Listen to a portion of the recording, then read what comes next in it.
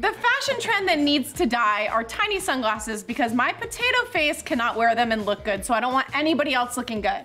They don't look good on anyone. Except supermodels. The fashion that needs to die is a latex dress because just mm. no. It's hot. boob sweat, your self tanner is rubbing off. You're it falling sounds out like of, this. you're just like spilling out everywhere. we have to hide our nipples. So Unless you're face tuning, it's not gonna look good in a photo. The fashion trend that needs to die is trying to dress up a sweatpant.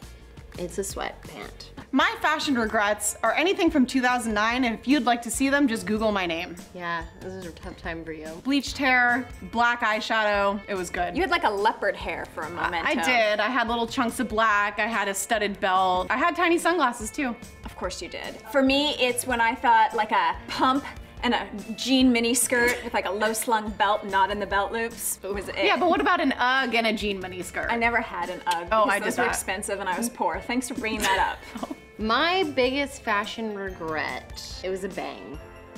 yeah. I had bang regrets. yeah. So what she's saying is she's never regretted anything she wears because she's chic AF, but she had bangs once. never been dumped. never been broken up with either.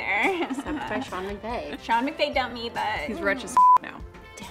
Becca's personal style is boss ass powerful bitch. Yes. Yes. She wants to be in a blazer. She wants to be in a pant. She never wears anything tight. Modest mo- chic. Yeah, yeah. It's I like like she's a high Amish. neck. I like to be covered. At least to the knee. You can't show knees. She's like Drake in a Drake video. Like a turtleneck and then an accessory and then a blazer with a shoulder pad. I don't want to see anyone's skin after 30. Sorry. Jac has a very, very, I her style underwear optional. yes. We had to actually teach Jac how to wear a bra when we got our television show on E because she didn't own any. Yeah. still not wearing one. Are You're not wearing one? No, no. Jac loves a crop top. She's never worn a full shirt in her life. Not once. She loves a high slit. It where- goes up to her ribs. Yep. Hmm. One time I um, saw her in a lace bodysuit and a boot at Coachella It was a good look.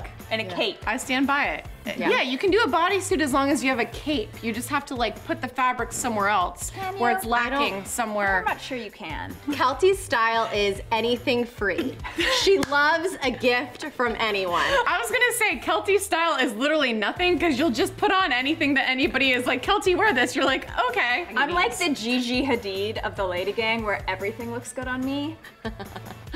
It's the haircut. Talk to Gigi. Her name's not Gigi. It might be. Have you ever spoken to Yolanda? I have.